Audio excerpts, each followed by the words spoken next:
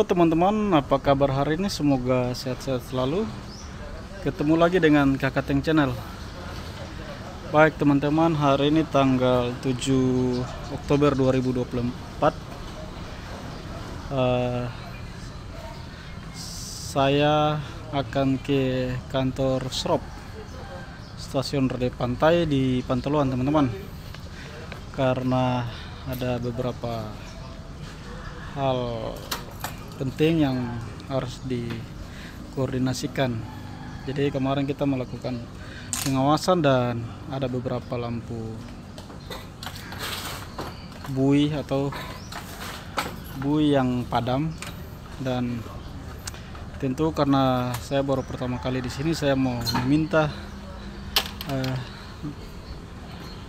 informasi terkait dengan eh, info suar di seputaran Teluk Palu secara akurat karena memang untuk informasi sarana bantu navigasi di Pelabuhan Pantoloan ini berada pada distrik navigasi atau SROP di Palu teman-teman di Pantoloan seperti apa teman-teman? Ikuti saya. Oke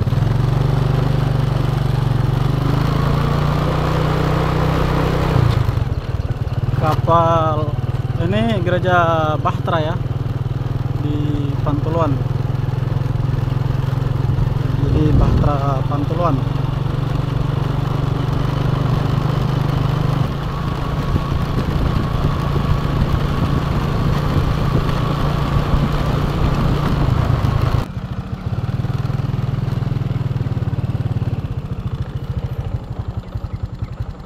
Keren teman-teman ini kawasan ekonomi khusus ke arah sini ya.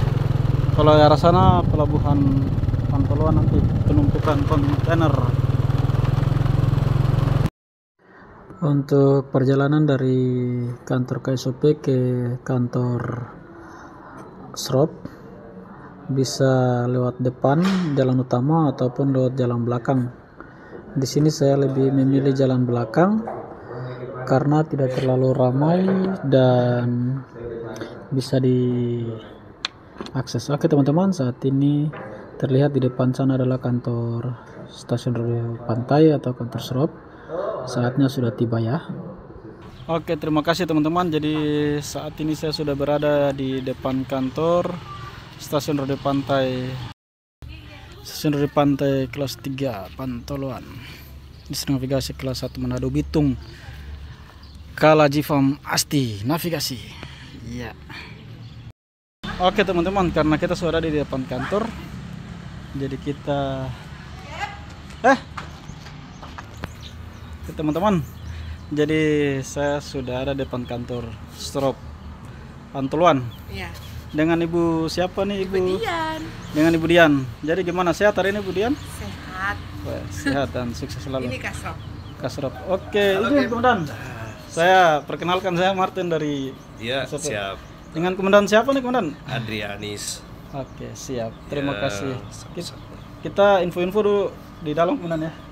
Oke, terima kasih teman-teman. Ya teman-teman, ini sekilas tampak adalah kantor Serop Pantoluan. Jadi di Teluk Palu ini ada dua serop ya teman-teman, satunya di Pantoluan dan satunya di Donggala.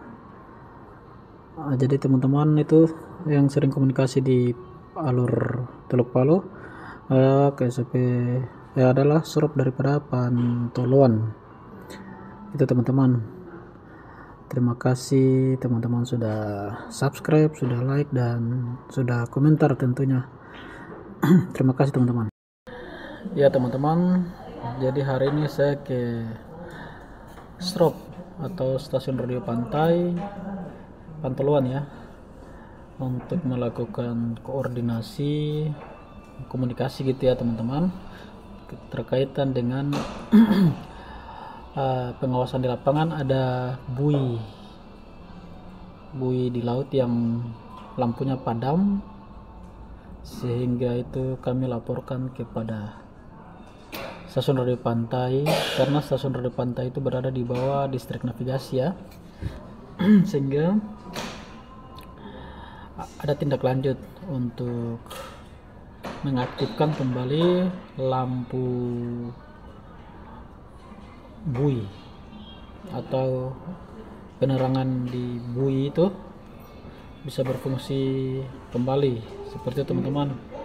Dan karena saya baru bertugas di KSP Teluk Palu dan sekaligus saya uh, meminta data secara akurat untuk mencocokkan data keterkaitan dengan data-data suar atau bui di uh, perairan Teluk Palu. Seperti itu ya teman-teman. Supaya pada saat kami melakukan pengawasan patroli dan sebagainya kami bisa melakukan uh, pengawasan atau memantau secara langsung apakah berfungsi ataukah tidak. Jadi eh, sarana bantu navigasi itu sangat membantu ya teman-teman. SBNP sangat sarana bantu navigasi pelayaran ya. Itu sangat membantu untuk eh, menuntun kapal-kapal yang berlayar khususnya masuk ke area pelabuhan seperti tel daerah selat teluk ataupun uh,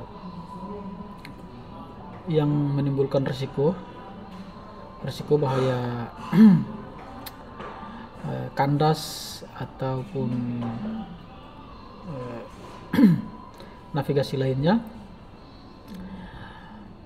Itu sangat membantu.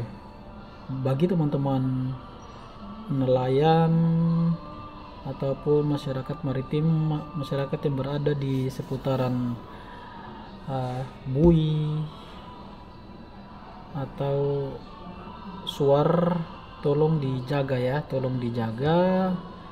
Jangan dirusak karena itu sangat membantu untuk kita sama-sama menjaga laut kita menjaga hmm, perairan kita alur-alur pelayaran sehingga aman dan lancar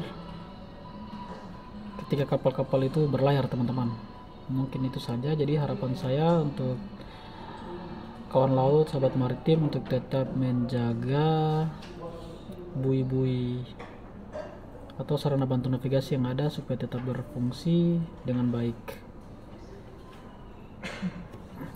Itu aja ya. Terima kasih dan salam hormat Kakak Teng Channel.